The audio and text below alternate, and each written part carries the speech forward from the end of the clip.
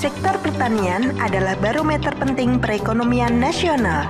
Oleh karena itu, ketersediaan data sektor pertanian yang lengkap, akurat, dan terkini sangat dibutuhkan sebagai acuan dalam perencanaan kebijakan.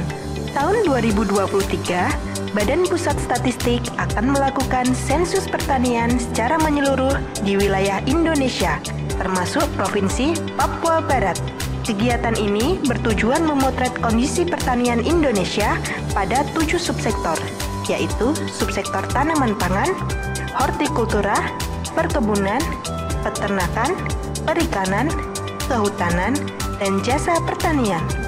Sensus Pertanian 2023 mencatat pertanian Indonesia untuk kedaulatan pangan dan kesejahteraan petani.